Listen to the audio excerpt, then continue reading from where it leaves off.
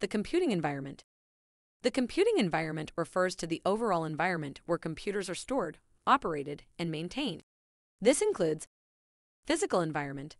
This involves considerations like temperature control, humidity control, and physical security of the computer systems. Next, we the software environment. This involves the operating system and software applications used. Network environment. This includes all hardware, software, and infrastructure involved in connecting computers and other devices together.